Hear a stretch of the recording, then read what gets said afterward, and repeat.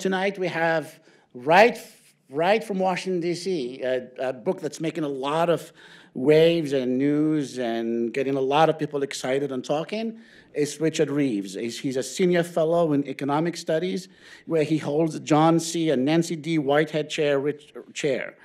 Richard is a director of the Future of the Middle, Middle Class Initiative. Excuse, excuse the.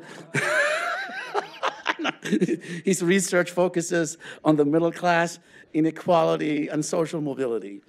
Richard's publications for Brookings include his latest book of Boys and Men, Why the Modern Man is Struggling, Why It Matters, and What to Do About It, and Dream Hoarders, How the American Upper Middle Class is Leaving Everyone Else in the Dust, Why That is a Problem, and What to Do About It.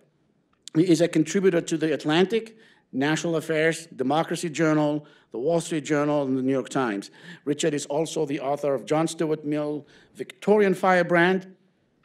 Uh, it was published in 2008, an intellectual biography of the British liberal philosopher and politician. Richard sits on the board of, of Jobs for the Future. He's an advisor to the American Family Survey and to the Equity Center of the University of Virginia. He has previously served as a consultant to the Opportunity Insight team led by, the, by Professor Raj Chetty at Harvard University and as a member of the Government of Canada's Ministerial Advisory Committee on Poverty. Richard's previous roles include director of Demos, the London-based, or Demos, uh, Demos, I think, the London-based political think tank, director of Futures at the Work Foundation, principal policy advisor to the Minister for Welfare Reform, social affairs editor of The Observer, research fellow at the Institute for Public Policy Research, economics correspondent for The Guardian, and a researcher at the Institute of Psychiatry, University of London. He is also a former European Business Speaker of the Year. Richard has a BA from Oxford University and a PhD from Warwick University. So uh, without further ado, please help me welcome Richard Reeves to the podium. Thank you. Thank you. Thank you. That resume makes me feel really old. that can't be right.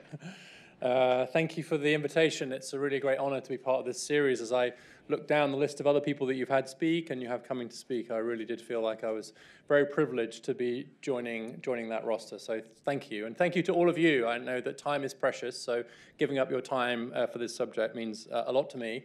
Um, even for those of you who are here because your professor has forced you to be here for credit which is that row there. Um, but thank you anyway, even though I know you didn't have any choice. Um, so uh, I've written a lot about family, gender, class, racial equity, both in the UK, where I'm from, as you can probably tell. If you hadn't got it from my resume, you can get it from the way I sound. Um, and it led me to this, this strange subject. I've never had this title for the lecture before, that's Anouar's doing, which is the peculiar condition of the human male, obviously related to the humanities aspect here. But it's, um, it's a quote that obviously that echoes Simone de Beauvoir, uh, who said in 1949, nobody would ever, ever have the thought of writing a book on the peculiar condition of the human male. Always we're writing about the peculiar condition of the human female. But she made the point that that would never be a subject for conversation because the default was always about everything's about men. The world is run by men, for men, and along male lines. But, well, here we are. And I've just written a book about the peculiar condition of the human male for reasons that we can get into. Um, but I'm not the first to do it, of course, and so I think it's very important to acknowledge some of the uh, some of the predecessors. So this is Hanna Rosin's book, The End of Men, based on an Atlantic essay of the of the same title, uh, which was in 2012. Uh, this is uh, Kay Hymowitz's book, Manning Up. This is Zimbardo and Coulombe's book, Man Interrupted. Andrew Yarrow wrote a book for the same press as me, the Brookings Institution Press, called Man Out, Men on the Sidelines of American Life. I think that was about four or five years ago. And Warren Farrell and John Gray have a book, The Boy Crisis, etc. So it's not that there aren't any books out there, um, and especially I would say in the last decade or so, there's been a really growing interest in what is going on with boys and men. So why this? Why, why another book on boys and men? You have to justify it, not least you know, because you're going to spend all this time writing it, you've got to sort of think, well, what am I going to add? What value can I add to this already crowded debate? And I'm going to say in a moment why, but I also want to be honest about the fact that it's at least partly autobiographical.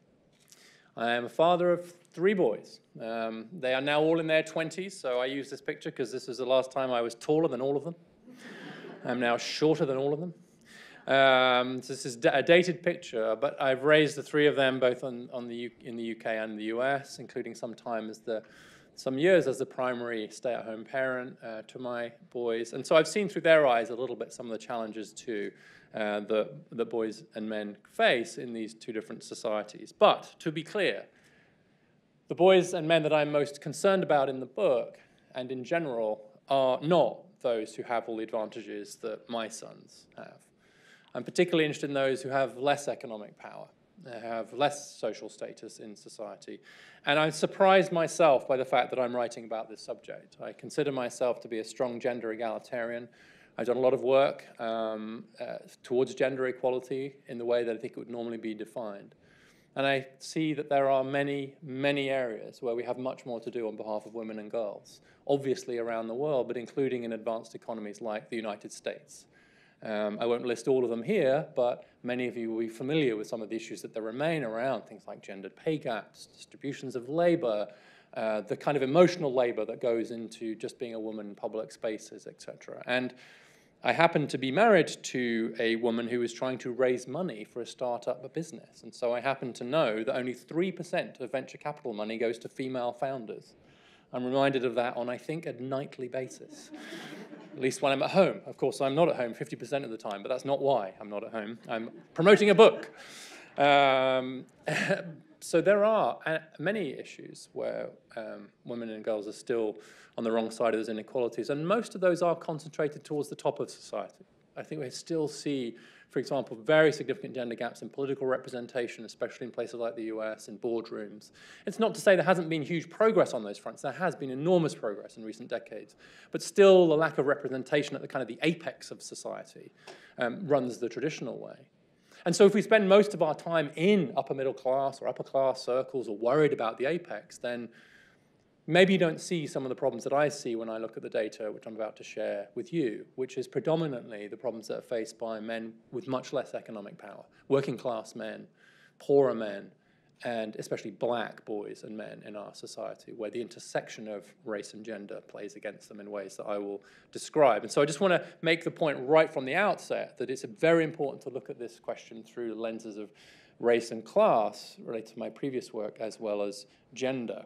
But we have to be quite careful to be looking further at society than just around us. We might be, to borrow Sheryl Sandberg's phrase, we might be leaning in, but not looking down.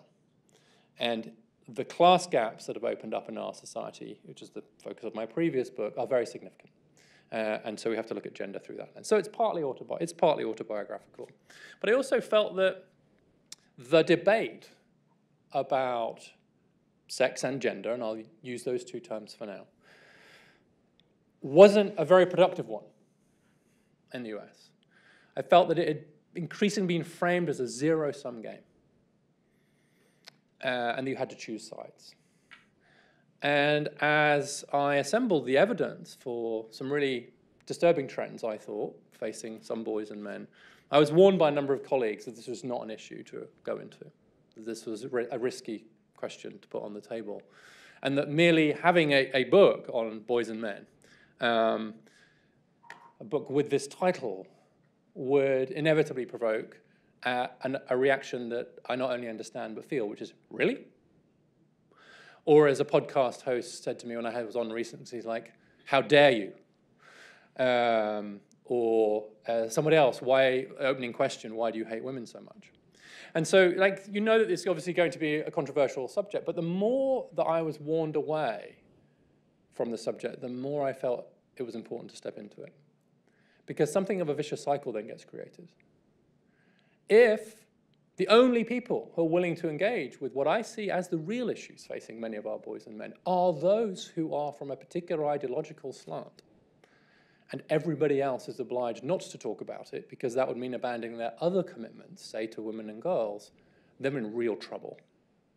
Then we've just ceded the ground to irresponsible people. And here I'm not making a point about left or right. I mean left or right. It is an axiom of political and cultural life that if responsible people don't address real problems, irresponsible people will exploit them. And so look, it said to me that looking away was not a responsible option. And instead, we needed a good faith conversation about what's really going on. And so that's what I've attempted to do in this book. I also wanted to put some solutions on the table so that rather than just more cultural commentary, that actually we could start to talk about some practical policy solutions. I work at the Brookings Institution. We're a policy think tank. That's kind of what we do. And I wanted to make some of the discussion around this subject a little bit less cultural, a little bit more policy oriented, a little bit more wonky. Of the many reviews of my book that uh, I've had so far, the one that perhaps pleased me the most was from Matthew Yglesias. Some of you'll know him, co-founder of Vox, who wrote a long review of the book, in which he said, Reeves's book is earnest, bordering on banal. I was thrilled by that, and I said to my publisher, let's put that on the paperback. Earnest, bordering on banal. Um, but he meant it in a good way. And what he meant was he tried to actually just, here are some facts. Here, what do we do about them? So yes, as a father. What I'm going to do is go through some of the facts. Um, I think we, we talked a little bit in my previous career as a journalist on The Guardian and The Observer. The founder of The Guardian, C.P. Scott, famously said, comment is free, but facts are sacred. And so I just think let's get some facts on the ground and then see what implications they might have for the way we think about this discussion. So let's start with education. Uh, enough, given that we're in an educational institution. Um, this chart shows you the percentage of degrees. Um, here I'm showing bachelor's degrees and um, postgraduate degrees. Uh, the number of women um, getting a degree for every 100 men, and this goes back to 1971. So the, the beginning of this chart is when Title IX was passed um, to promote the cause of women and girls in education. You can see why there was so much effort paid during the 1970s and 80s to promote the cause of women in, in higher education. You can also see a pretty, pretty rapid catching up. It turned out that actually once we kind of removed some of the obstacles and started to invest properly in women and girls' educational opportunity, they, they caught up, um, overtook, leveled out more recently. But now there's a bigger gender gap in higher education in the US than there was in 1972. It's just the other way around. So in 1972, there's roughly a 13 percentage point gap uh, in favor of men getting a four-year college degree, there's now about a 15 percentage point gap in favor of women getting a four-year college degree. Um, and it's worth saying, I think, that um, this is not necessarily, this, this, this, is this good or a bad thing? I'm not making any comment about this at the moment, I'm just stating the facts. We can discuss what this means, um, but I think it's important to start with the facts. And so the fact is that there's been a great reversal um, in higher education um, to such an extent now that, as I said, the gap is bigger today than it was in 72. Um, and you can see it took a bit longer with um, postgraduate degrees, but there was, there was a similar trend there. Now, of course, to some extent, colleges are sort of reflecting what happens earlier. So let's look at high school.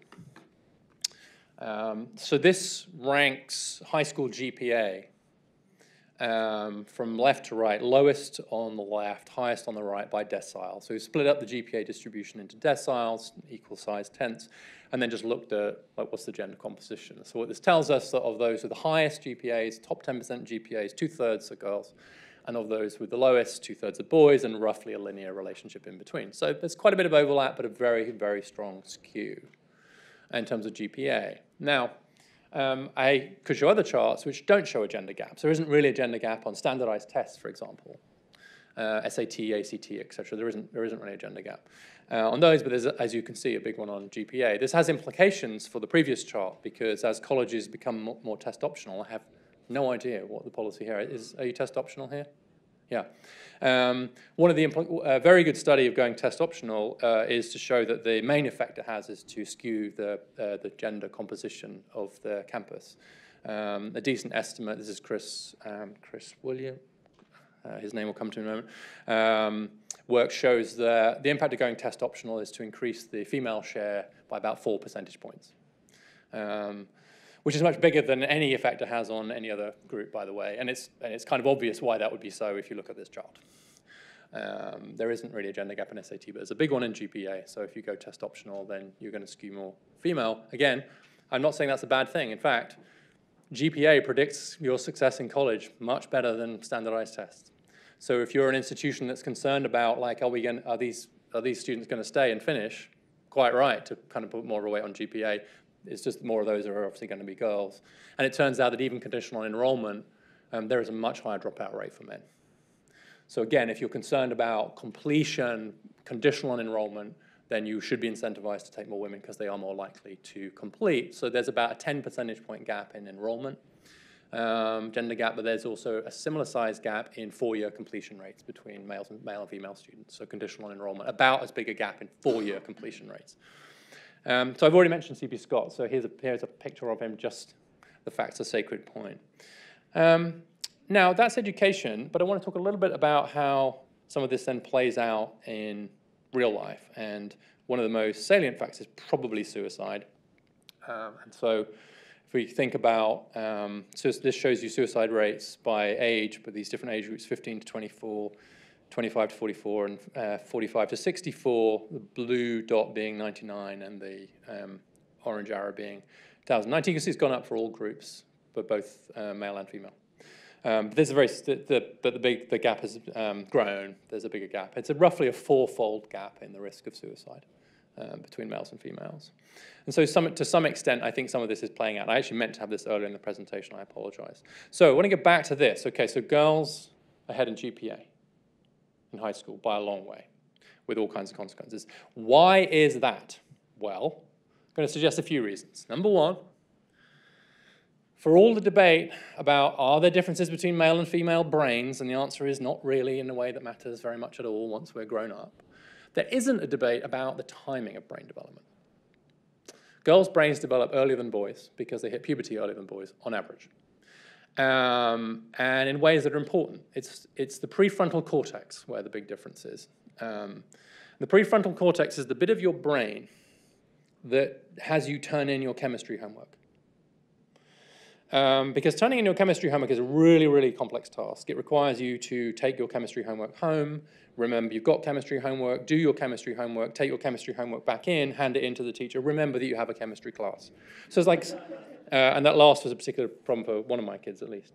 Uh, oh, I have chemistry. Um, and so that's like sometimes called the CEO of the brain. It's like not, it's, it's not about smarts, it's about organizational skills, and just develops earlier in girls. So what this chart shows you is age across the bottom, uh, from 10 through till in the mid-20s, um, girls on the left, boys on the right. And what this shows you two of the things that actually come out of develop, uh, developing prefrontal cortex, which is um, the ability to have impulse control. So the blue line shows you, and it's a standardized scale, um, levels of impulse control by age. So that's what psychologists think of as the brake, the thing that stops you doing something or thinks it through, has more future orientation. And the orange line is sensation seeking, which is a bit of your brain that says, go for it. That's a great idea. Um, or as a, a, friend of mine once put it, the most dangerous sentence you can hear out of a young man's mouth is, here, hold, hold my drink and watch this. and you can see here that there's um, a, a, significant gap um, by time. And so you can see this period of adolescence is the period where, you know, just a little bit low on impulse control, everything's a great idea, um, uh, uh, and a bit high on sensation seeking, uh, sorry, it's sensation seeking is like everything's a good idea, and impulse control, not so good. So the gas and the brake in the car, if you think about it like that, a bit too much gas, not enough brake, right? Hence all the risk-taking activities of adolescence. You also see a very big difference between boys and girls.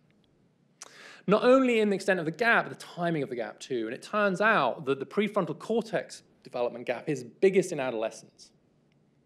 As Margaret Mead once said, if you walk into a room full of 15-year-old girls and boys, you wouldn't just think they're a different sex, you'd think they're a different species.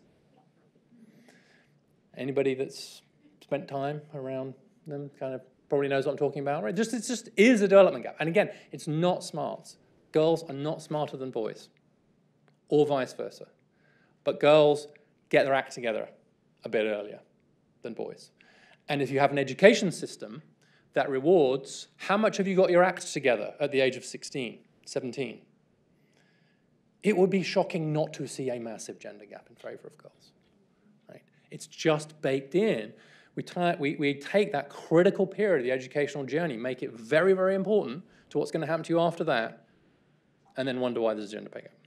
But there's something else going on in schools as well, which is um, a bit of a lack of male teachers. I don't have the trend here, there's this is cross-section, but the trend is that um, the share of um, teachers in K-12 education who are male is now 24%, down from uh, 31% in the 80s. And you can also see where the gaps are biggest uh, through the education system.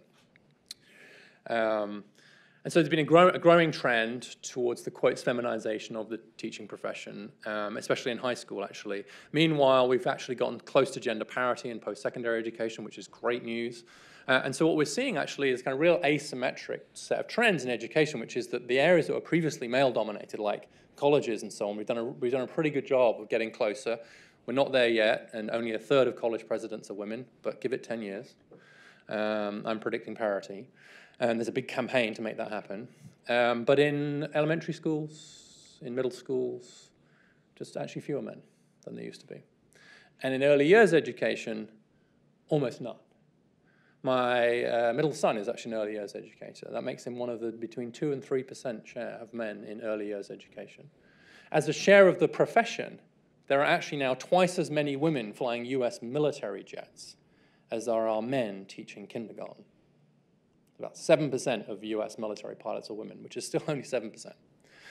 Um, but only 2 or 3% of our kindergarten teachers are men. But as the women's movement taught us, if you can't see it, you can't be it. And so, what message are we sending, for one thing, about the roles of men and women, but also what happens when you have these institutions that are so gender skewed one way or the other? It should be no surprise that it's not to the advantages of the other gender. We've learned, for example, that having a female STEM teacher is really good for girls, particularly in high school. But we also know that having an English, a male English teacher is really good for boys. What is the subject that men in K 12 are least likely to teach? English. So not only are not enough men, but they're also not in the subject where they would have the most effect. And I think back to my, again, N of one, anecdotally. The fact that my English teacher in my high school was a man at a critical period, I think was non-trivial. I had remedial English for a while. Um, and I think that if you're going to try and get a bunch of 16-year-old working class boys to weep over Andrew Marvell's love poetry, it helps to be a Korean War veteran and a guy, uh, which he was, Mr. Wyatt was. So I'm not suggesting for a moment that's always going to be true, but we have learned a little bit about actually seeing yourself in your teacher and in other roles turns out to be quite important on dimensions of race, but also of gender. So I think this is a problem too. The education system is now, I would argue, structured in ways that are more female friendly than male friendly. And we see the results. And I think that's a problem. And I think many of our boys are struggling in their schools, and many of them don't feel seen. What about the labour market? Well, this is the other place where there's been a huge change, and mostly just a lot of hugely positive changes in the labour market. Um, and it's important to acknowledge those facts. So this is uh, looking at the, the wage distributions, um, uh, the, the, female and male wage distributions, kernel density distribution. So the exact numbers on the axes don't really matter. What matters is the shape. And what this tells you is, in 1979, the male and female earnings distributions looked really different. Right. And in 1979, only 13% of women earned more than the median man. So take the guy in the middle of the distribution, how many women were above him? 13%, right? It was, like, you, you could tell, you knew which one was the male and the female distribution, right? Without anybody else telling you. Today, not so much. So today, 40% of women earn more than the median man. That is not 50%, but it's a lot more than 13%. Something else has happened you can see how the distribution has gotten flattened and pushed out to the right. And so what it's telling me is there's much more earnings inequality than there used to be. So used to be much more bunched, now they're much more spread out. So what it's telling me is that both men and women at the top are doing much better by comparison to everybody else. So we've seen huge class inequality growing. Even as the gender gap has closed, the class gap has widened quite significantly. Then when we go into households, that's compounded because with something which sociologists call assortative mating. Men and women tend to marry people with similar education and income levels as themselves. Assortative mating is a very unromantic term. I don't suggest anyone uses it on a dating profile or anything. But seeking to assortatively mate is not, you want to, you want to say that, but you, but you probably are. Um, and so actually on a household level it gets even worse. And this just dramatizes the point, which shows you the wage trends against 79.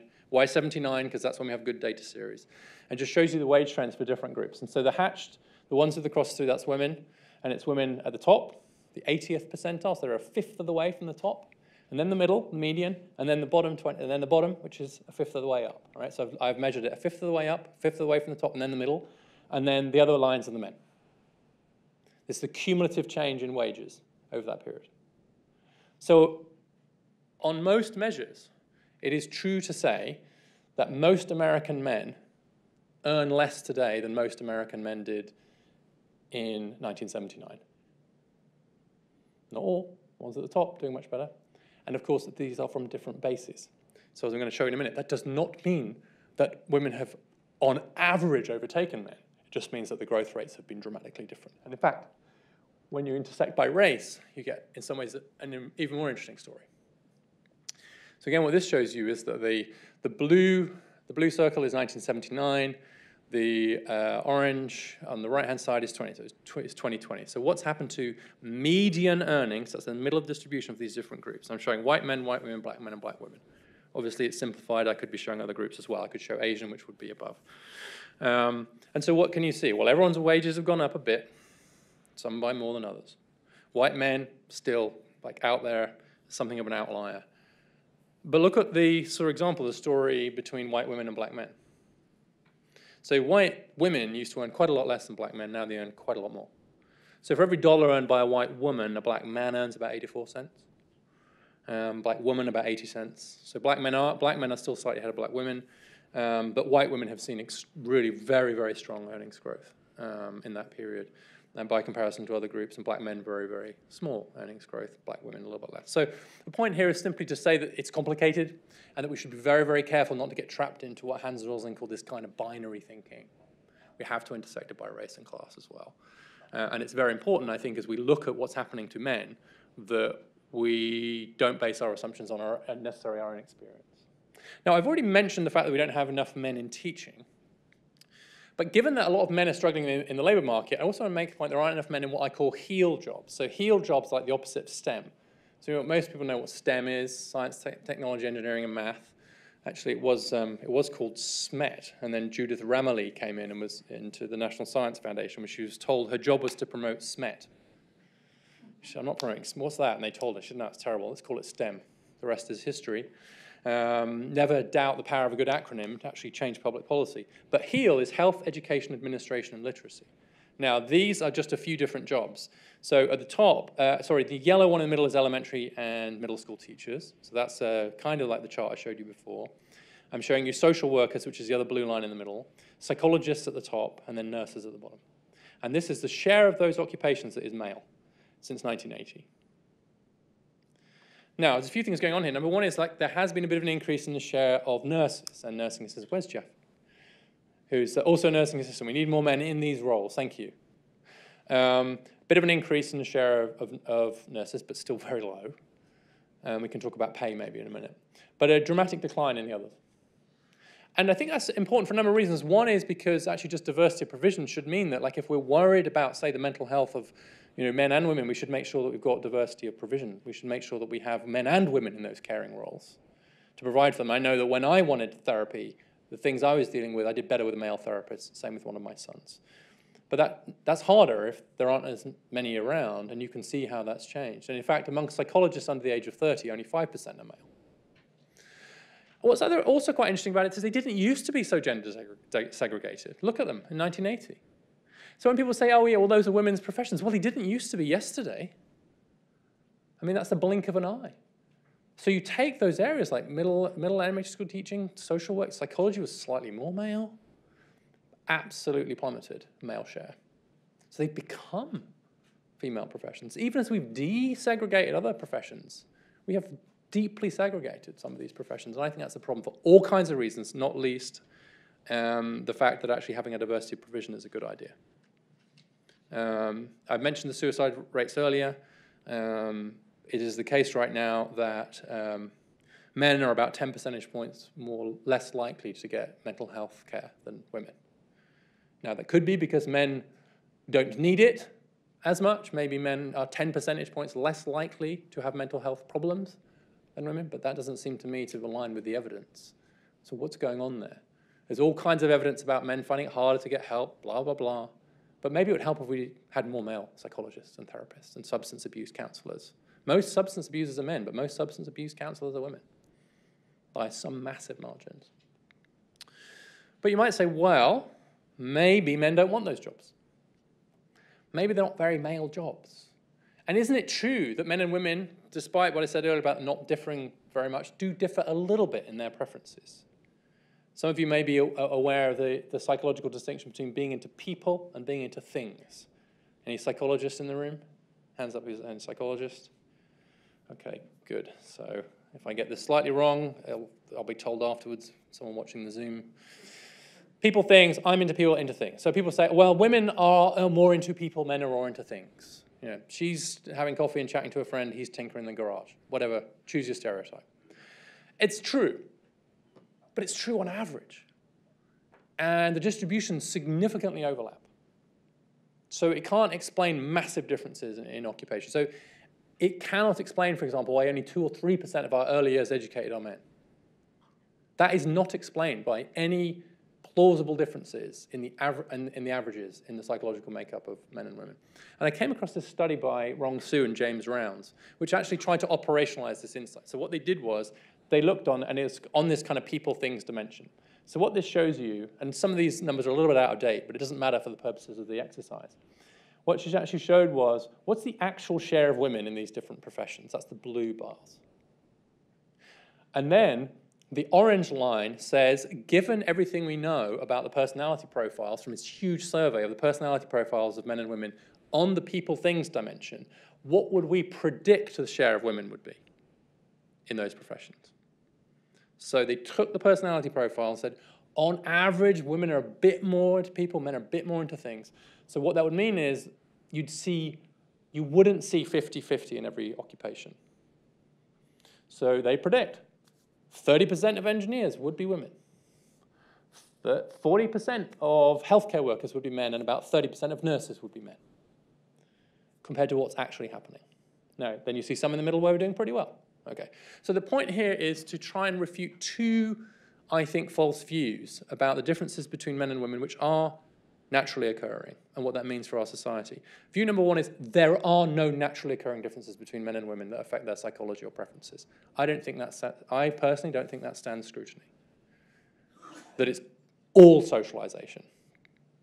But the other view is, yes, there are differences between men and women, and they're huge, and they explain why women shouldn't be engineers, and men can't be nurses, and women can't be presidents or astronauts or whatever it is, whatever it is, right? Which is insane. The key point is that even if there are differences on average between two groups, they massively overlap, usually.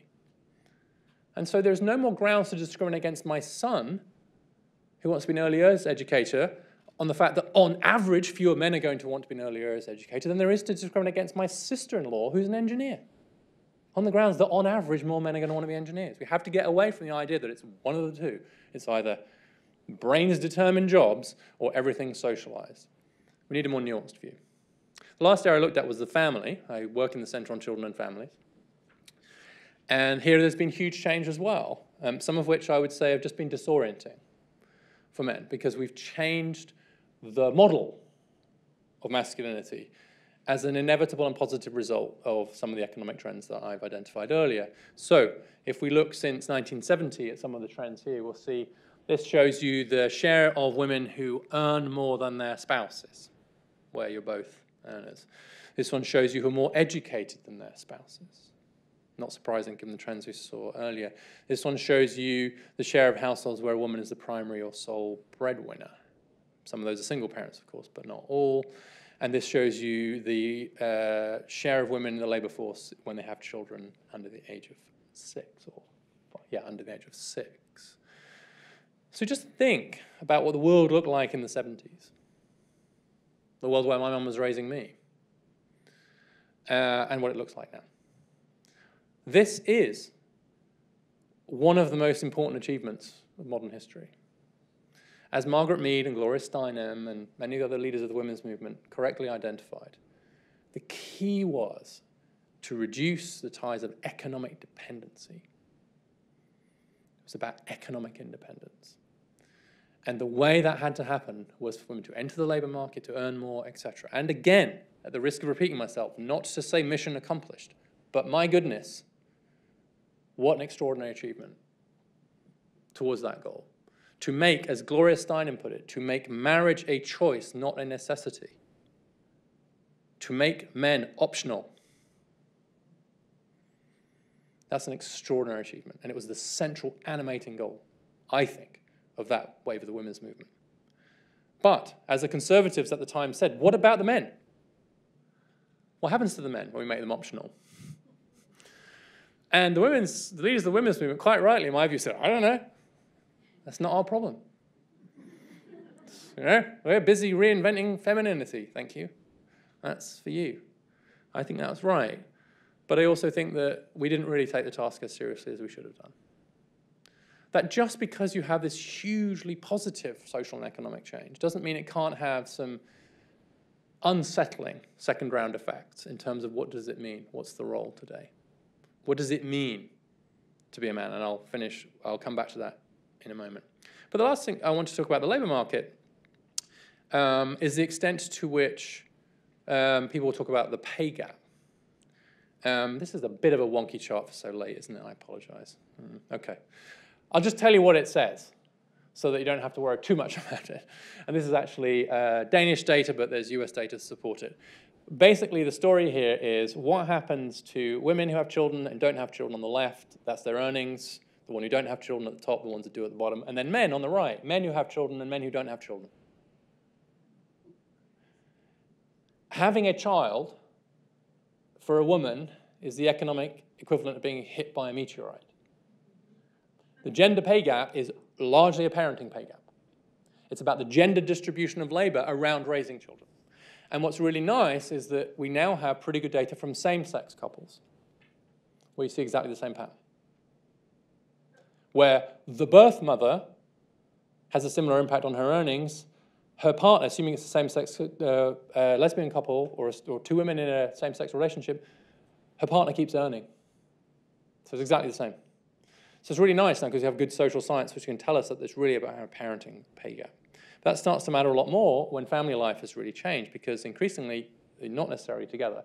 This shows you the share of births that are taking place outside marriage in 1990 and 2016 by the education of the mother. So what you can see is that there is a significant gradient here by education. So the less education the mother has, the much more likely she is to have her child outside of marriage. But there's been an increase across the board, so that among those with a bachelor's degree, 10% of the, the births to women with a four-year degree are outside marriage, which is doubling what it was before. But look at what it is for those with an associate's degree, 43% less, etc. Most births to mothers without a four-year college degree are now outside marriage. 40% of all births are outside marriage. This is a dramatic social change that has been made possible by some of the trends that I identified earlier, and all of which are to the good in terms of gender equality. But they do raise real questions as to what fathers are for and what it means to have a model of pro-social masculinity that is compatible with gender equality, which I think we need. And I'll say a bit more. So I'm going to do a bit policy wonky stuff. What do we do? So what? Here are some ideas. Let's start boys in school a year later. They mature later. Chronological age is a pretty you know, crude proxy for developmental age anyway. The difference between boys and girls. All, a lot of private schools are doing this already. It's become a bit of a sort of open secret in private schools now that boys get enrolled a bit later, um, so that they are that, that much more mature in the school. Um, let's have a lot more technical high schools. Technical high schools are really good for boys. They help some girls too, but the really, really the big evaluations show that they're really good for boys. The US doesn't do much of that. A, thousand new technical high schools, which maybe would cost us five billion a year, would double the share of students that could go to them, about 15%. As I said, I think it would be good because some of the pedagogy right now in public education is probably a little bit less male-friendly um, than it was or could be. So I think technical high school is a good idea, along with apprenticeships, etc. One, a million more apprenticeships. There's an apprenticeship bill on the floor of the Senate. I've mentioned male teachers already a massive recruitment drive of male teachers. I would include scholarships, subsidies, etc. Just in the same way we've had scholarships to get women into STEM careers and uh, to do STEM degrees, etc. at universities, which is great. Let's have the equivalent to get men into HEAL professions, into health and education, etc., especially in those areas like English where they can have the most effect. I realize that in some circles that's not an uncontroversial idea, but it seems to me that just to kind of watch the teaching profession gradually lose its men year by year and not do anything about it is irresponsible.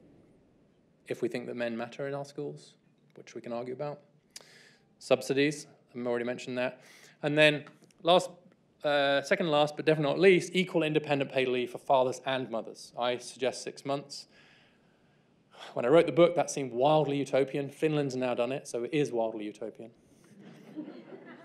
Uh, Australia's done something similar. But then, only a couple of weeks ago, the US military announced three months paid leave for both uh, fathers and mothers, or birth and non birth parents, because they're not all fathers and mothers, of course, but the majority are. Three months. So suddenly I don't sound as crazy as I did a little while ago, saying six months. And what do the US military know that the rest of us don't know? Why do, why do, why do dads in the military get three months paid leave and not civilians? Um, it seems to me that that's the direction we have to go in, and it's very important that it's available to fathers on an independent basis. Because if fatherhood really does matter, then we need to send that signal through public policy as well. And we also need to Im improve the rights for uh, unmarried fathers. The divorce system works quite well for separating parents in terms of figuring out custody and money and stuff, but for unmarried parents, it's a mess. In most states, it's very, very difficult. You have to establish paternity. The financial aspect is separate to the care aspect. Um, and it means that a lot of our fathers get benched. So one of the other facts that I tripped across on my way to this book is that within six years of parents separating, a third of children never see their father again. And I think that's unconscionable. And I don't exact, and I think it's not just, it's not that these are not, quotes, deadbeat dads. We, we're not sending a cultural signal or a policy signal about fathers mattering. And there are different reasons why people might be concerned about that. From the left, there's a concern that it's heteronormative and that we're somehow elevating men above women. I don't think that's true. And from the right, it will be, well, they should get married. But 40% of births are outside marriage already. And so I don't think we can build the future on what I would say are the kind of shifting sands of the marriage contract, given what's happened. I think it has to be built on the idea that dads matter, period. Just as mums matter, period. Not just as breadwinners, um, sometimes even, especially when they're not breadwinners. But I'm going do a bit blatant promotion. Here we go. There's, there's a book. There's a, there's a newsletter. There's a, there's a Twitter feed. There's a podcast. Actually, I've just stopped doing the podcast, so ignore that. Um, but I want to finish with a plea, I think, which is that I mentioned earlier the quote that if we don't, if responsible people don't address real problems, then irresponsible people will exploit them. And one of the reasons in the end I stuck with this journey is because if we don't look squarely at the problems that many of our boys and men are facing, acknowledge them, say that they're real, tackle them, be seen to be tackling them. If we don't do that and they're real, we create a vacuum. We create a vacuum in our politics and a vacuum in our society. And just like nature, the internet abhors a vacuum. And so if we don't have a story to tell about how we can help the boys and men in this great, wonderful new world of gender equality, but also one where many of them are struggling, then we're in real trouble. I gave you the suicide numbers. Fiona Shand did some work which looked at the words that men, including some very young men, had used to describe themselves before taking their lives. And the two most commonly used words to describe themselves were useless and worthless. I don't think it should be controversial to suggest that if we're committed to human flourishing, that means we should look at those boys and men who are struggling without in any way giving up on our other commitments, including those to women and girls. Because if they are struggling, and they're facing a combination of class problems, race problems, mental health problems, education problems, etc., and they don't see us taking their problems seriously, they will go find someone who is. They might find them online. And we may not like the people that they find online.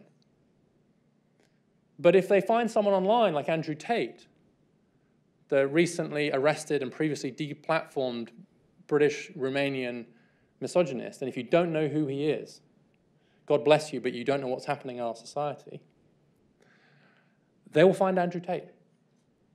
And so if we don't want our boys and our young men to find Andrew Tate or to find equivalent, if we don't want populist politics of whichever flavor to be being fueled by these issues, then we have to deal with it. Problems that are not addressed can metastasize into grievances. Grievances can be exploited.